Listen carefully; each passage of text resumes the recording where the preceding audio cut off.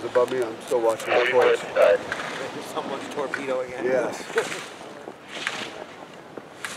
Yesterday was the day that we had that. Allison's in the gate.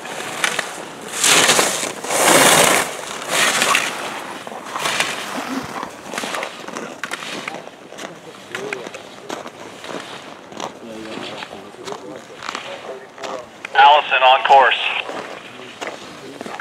Chris, track's still holding up pretty well, so uh, all good. Just